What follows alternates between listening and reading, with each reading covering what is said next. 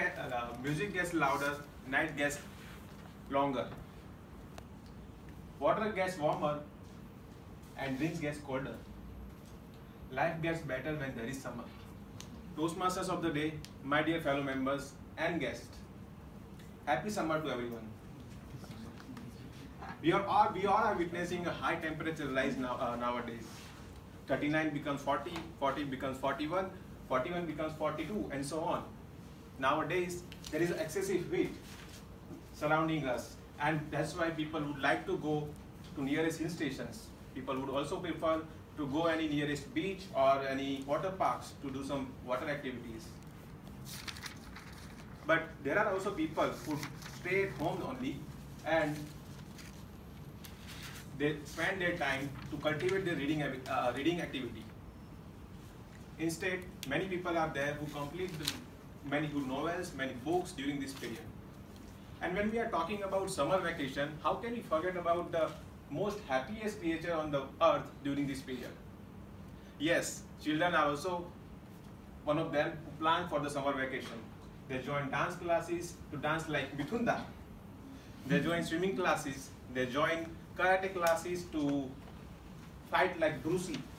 They join cooking classes to explore some cooking activities and so on. While all this we are planning for summer as a human being, there is something going on which we are not aware about it in the summer. And if we are aware about it, we are not bothered about it. That we need to consider. Earthquake, floods, typhoon, hurricanes can be dangerous, but more number of people die because of heat stroke in summer. Data says that more than 1000 people die across India in a year due to heat stroke. And this number is increasing year on year. Heat stroke, also known as sunstroke, is a severe heat illness defined as hyperthermia when our body temperature increases to 40.6 degrees Celsius and above because of environmental heat exposure with a lack of thermoregulation. If I say in layman language, our body temperature, normal body temperature is 37 degrees Celsius. And we, human, are exposed to excessive heat. Our body, temp our body is not capable to maintain the body temperature and we suffer from the heat stroke. Statistically speaking, people over age 65 are the most likely one to suffer from this. But it affects the people of all ages, including me, active and young healthy people like you. But if you are having any health related problems, or let's say any risk factor like cardiovascular or respiratory problems, then you are more prone to stroke because your exposure to the extreme heat for a prolonged working day may lead to you heat stroke. Our body shows some clues. Signs and symptoms for it are lack of sweating, nausea, vomiting, headache, dizziness, weakness, and so on. I always believe that prevention is better than cure. So we are have some we are having certain ways which we, within using which we can maintain the core body temperature with limits and beat the heat. Here are those seven ways.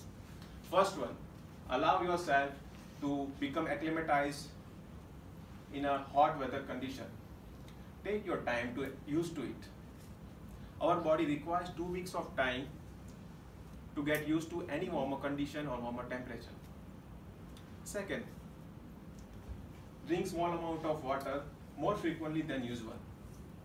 In other words, if I say drink them on a schedule rather than just you become thirsty. By the time you become thirsty, you might have lost enough amount of water from your body. Third, eat smaller meals before doing any activity. That will help you to eat smaller meals more frequently. Fourth, avoid alcohol or large sugar content. Both are having dehydrating effects. Fifth, if you are working directly in the sun doing a rigorous and sustained activity, physical activity, then take small breaks more often. Sixth, cool your skin frequently. Cool off yourself in front of the fan that will help you to cool down your body. Seven, try to avoid as much as uh, try to avoid the exposure to the sun as much as direct direct exposure to the sun as much as possible. Whenever you are going outside, wear long sleeve clothes, use hat or umbrella, or apply the sunscreen lotion. Of course, using these seven, uh, seven ways of seven ways we can prevent the heat, but we should not forget about the importance of good diet in the summer. We should consume more and more fruits which are having high water content. Fruits like uh, watermelon, grapes, oranges are full of water content, and consuming those fruits we can we can uh, maintain our body water content water content. We have drinks like uh, coconut water, lime water, or chas buttermilk. Those are having very cooling properties. In fact, yesterday or day after yesterday only, I came to know that day, day before yesterday, I came to know that uh, there is an increase in Baroda Dairy's sales by 15,000 liter within 12 days. We should go also for salads with green vegetable, green leaves like spinach. It will help us and reduce the sensitivity sensitivity of the body towards ultraviolet rays coming from the sun. Last but not the least, onions. We should consume more onions. It will allow us, allow our body to remain cool and calm during the summer days. Remember my friends, don't let yourself get beat by the heat. Instead, use these preventive ways, follow proper diet and beat the heat. Over to you, Toastmaster.